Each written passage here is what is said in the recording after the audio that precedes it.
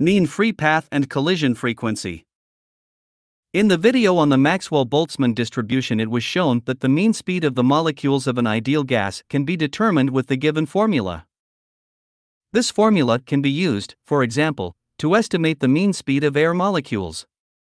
Since 78% of air consists of nitrogen, the average speed of the nitrogen molecules is to be calculated. Such a nitrogen molecule has a mass of 4.65 times 10 to the power of minus 26 kilograms. At a room temperature of 293 Kelvin, this results in a mean speed of about 470 meters per second. Thus, on average, the air particles move at supersonic speed.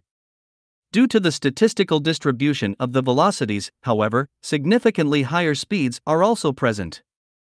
About 1% of the molecules have a speed of more than 1000 meters per second. One molecule out of 1 billion even reaches a speed of 2000 meters per second.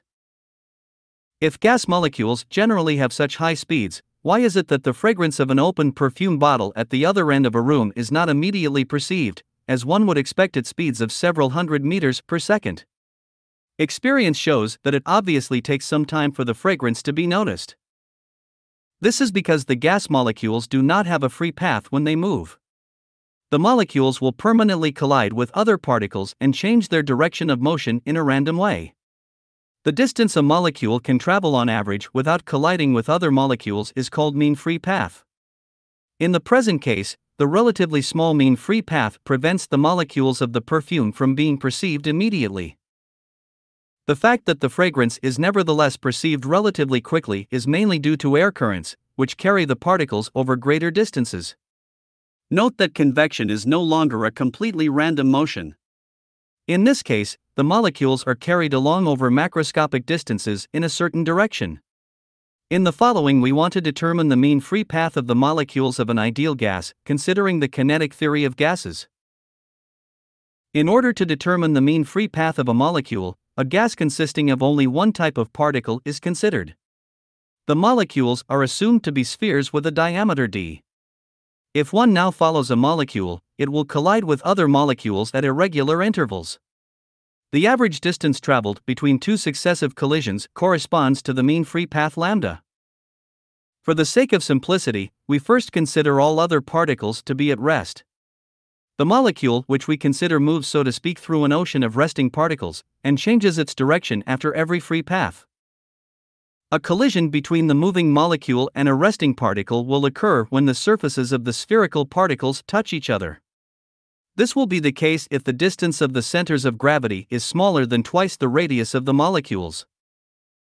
Thus, a circular collision cross section sigma perpendicular to the direction of motion can be defined around the center of gravity of the moving molecule, within which the center of gravity of the resting particle must lie for a collision to occur.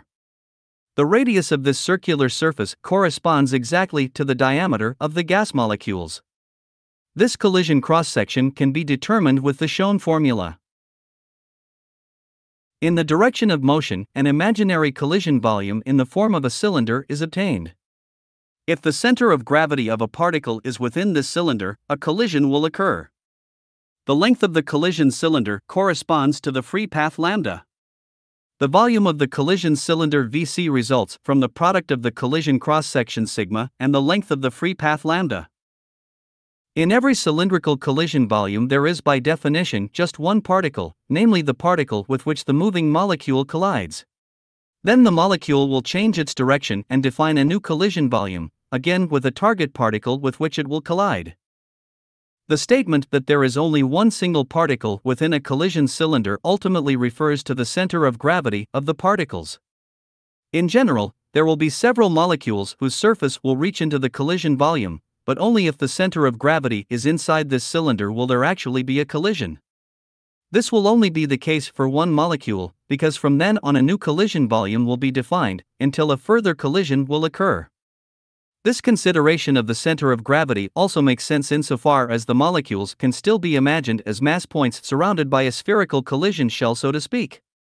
With this assumption as mass points, it becomes clear that there is actually only one molecule inside a collision cylinder. How many molecules are in a certain volume can also be determined by the particle density in the gas. This particle density is calculated by the quotient of the total number of particles n and the entire volume of the gas V. The particle density indicates the number of particles per unit volume. If one multiplies this particle density by any volume Vc, then one obtains the number of particles Nc inside this volume. For the collision volume, this number is of course 1, so that the mean free path lambda can be determined by using this condition. In this way, we obtain the given formula. The length of the mean free path is only dependent on the particle density and the diameter of the gas molecules. However, the derivation of this formula was based on resting particles. In fact, however, the individual molecules will move relative to each other. It is to be assumed that this will then lead to increased collisions per time and therefore the mean free path will be shortened. Taking into account the Maxwell Boltzmann speed distribution, the mean free path is then shortened by the square root of 2. The derivation of this factor is shown later in this video. For an ideal gas, the particle density marked in red can also be expressed using the thermodynamic temperature and the pressure according to the ideal gas law. In this equation, Kb denotes the Boltzmann constant. If we put this relationship into the formula for calculating the length of the mean free path, we get the shown equation. In this way, we can now calculate the mean free path as a function of temperature, pressure, and diameter of the gas molecules. If a nitrogen molecule with a diameter of about 370 picometer and a temperature of 293 Kelvin and a pressure of 1 bar is considered, a mean free path of 67 nanometers results. In this case, the mean free path is about 10 times less than the wavelength of visible light. With the mean free path and the, the mean speed of the molecules, the mean time period tau between two collisions can now also be determined. This mean time indicates the repetitive time intervals in which collisions occur on average. Therefore, the reciprocal of this time period can be understood as the collision frequency f, which indicates the number of collisions per unit time. This collision frequency is often denoted by the letter z. If we use the given formula for the mean speed of the molecules and the formula for the mean free path, we can find the formula for calculating the collision frequency. We can write the given expression much simpler. However, we do not want to go into detail here about the individual steps for simplifying the formula. Pause the video to comprehend these simplifications. For the nitrogen molecule already considered at a temperature of 293 Kelvin and at a pressure of 1 bar, a collision frequency of 7 times 10 to the power of 9 Hz results. This means that within 1 second a single nitrogen molecule will collide on average with 7 billion other molecules. To obtain the total number of collisions per unit volume, the number of collisions must be multiplied by the particle density. It must be taken into account that two molecules always collide with each other, so that the factor of one half must be taken into account. The particle density can be expressed by the temperature and the pressure according to the already derived formula. If you use this formula for the particle density and also the formula for the collision frequency, then the total number of collisions per unit volume can be determined with the given formula.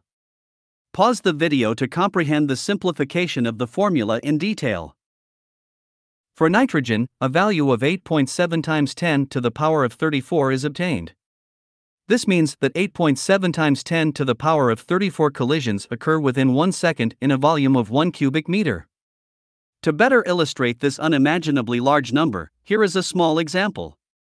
If 100 quadrillion collisions would take place within 1 second, then still another 15 billion years would have to pass in order to obtain this total number of collisions. 15 billion years correspond by the way to the age of our universe. In the following, we will go into more detail on the derivation of the factor square root of 2 in the formula for the calculation of the mean free path. The starting point for the derivation of the formula without this factor was the assumption that the molecules are all at rest. In the following, we will indicate those quantities which refer to this situation with the index 0. In such a case, the mean free path lambda 0 can be determined as indicated by the mean speed v of the moving molecule and the mean time tau 0 between two collisions. Now we imagine that the other molecules would also move with the same mean speed in a random way. What effect would this have now on the mean free path? For this purpose, we look more closely at the quantities on the right side of the equation. In principle, nothing changes in the mean speed, because according to the Maxwell Boltzmann distribution, the mean speed for an ideal gas depends only on the temperature. However, we assume that the temperature is constant and therefore also the mean speed. What will change, however, is the mean time between the collisions. Because now it is no longer the case that a molecule approaches a resting particle with the mean speed, but the two colliding molecules move towards each other. So in this case, two colliding molecules approach each other much faster. Therefore, the mean time between two collisions is shortened and the mean free path is reduced accordingly. Note that the time between two collisions is not determined by the absolute speed of the molecule, but by the relative speed with which two molecules are approaching each other. Only in the special case of resting particles the relative speed is equal to the absolute speed. Let us consider the following example. In the first case, a ball moves at a speed of 3 meters per second towards a second ball at rest, which is at a distance of 15 meters. In this case, it will take 5 seconds for the balls to collide.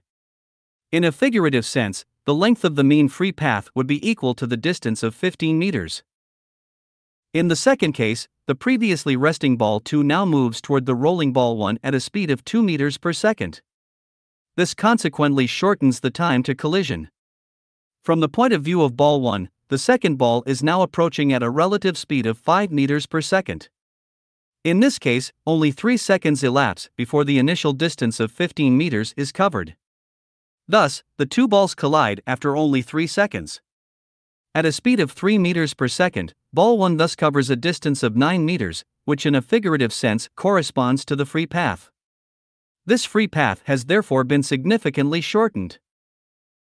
This illustrative example makes it clear once again that the relative speed with which two molecules approach each other is decisive for the mean free path. So the question is not what is the mean speed of the molecules, but what is the mean relative speed between the molecules at which they approach each other. For the one dimensional case of the two balls just considered, the relative speed is simply the difference between the two velocities. Note that the velocity of ball 2 is negative, since it is moving in the opposite direction. In principle, it does not matter whether we subtract the velocity of ball 2 from the velocity of ball 1 or vice versa. This only has an effect on the sign of the relative velocity. Since we are interested later anyway only in the relative speed, the exact order in which we subtract the velocities from each other does not play a role. We can now easily transfer the calculation of the relative velocity to the three dimensional case of molecular motion in a gas. We determine the relative velocity of two molecules in the same way from the difference of the velocity vectors. For the sake of clarity, the magnitude of a velocity is denoted only by the symbol v without any further indication. If, on the other hand, the velocity vector is meant, then an arrow is explicitly placed above the symbol. We will now square the vector of relative velocity. At this point, it is already apparent that the sign of the relative velocity and thus the order of subtraction of the velocities is of no importance, since this will lead to the same positive result in both cases. Basically, it makes no difference from a mathematical point of view whether you square the magnitude of a vector or whether you square the vector itself. In both cases, you get the same scalar result. The relative speed can thus be expressed as shown by the corresponding vector. If we use at this point the difference of the velocity vectors for the relative velocity vector, we get the shown relationship between the relative speed and the velocities of the individual molecules. Again, at this point, we can express the squared velocity vectors by the square of the corresponding speeds. With this equation, only the relative speed of individual collisions can be determined so far. A statement about the mean relative speed is only possible if all potential collisions, with their respective velocity vectors, are considered and the mean relative speed is calculated with the formula derived so far. Since the right side of the equation is the mean value of a sum, the mean value of the individual summands can be calculated instead. Let us now take a closer look at each of the three marked terms. The first term, which contains the squared speed of molecule 2, does not differ on average from the second term, which contains the squared speed of molecule 1.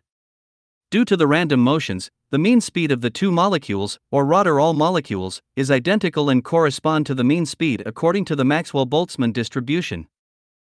Let's take a closer look at the third term. This term contains the scalar product of the velocity vectors. As is usual with a scalar product, the individual velocity components are multiplied by each other and then summed up. The individual components can be both negative and positive. However, since this is a completely statistical distribution of the components, positive and negative values for the scalar product are obtained to the same extent. Thus, when considering a sufficient number of molecules or collisions, on average the positive terms will compensate with the negative terms. Therefore, on statistical average, the third term in the given equation will be zero. In this way, we finally obtain the shown relationship between the mean value of the respective speed squares. At this point, it makes no difference whether we consider the mean value of the speed squares or the square of the mean speeds. Because according to the Maxwell Boltzmann speed distribution, the mean value of the speed squares is in a constant ratio to the square of the mean speed. Of course, this also applies to the relative speed, because a gas does not change its temperature just because it is described from the point of view of relative motion. More information about this can be found in the video about the Maxwell Boltzmann distribution.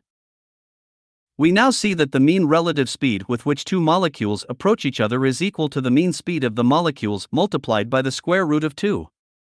Thus, the actual approach speed of two molecules is greater than if only their own speed were taken as a basis for the approach, this would correspond to the case that all other molecules were at rest.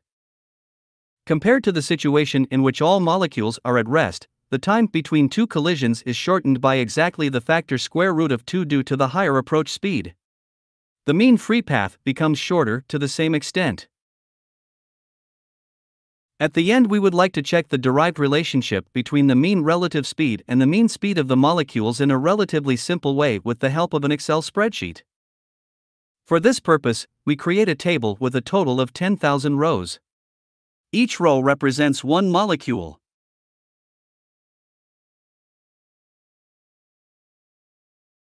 To each of these molecules, we assign a random velocity component in x, y, and z direction. This is done by a random number resulting from a normal distribution.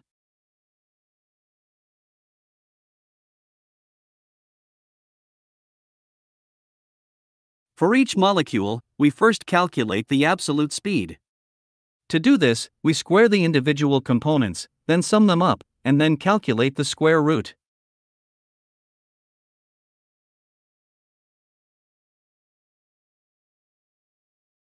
Now we determine the relative speed between a molecule and the following molecule. To do this, we square the difference in the respective velocity components, then add them up, and then calculate the square root.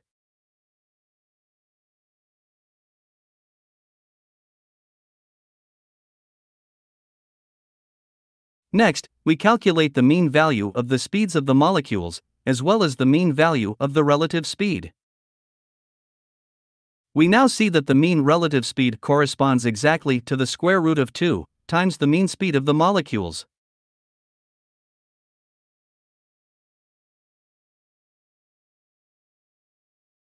I hope you enjoyed the video and found it helpful. Thanks for watching.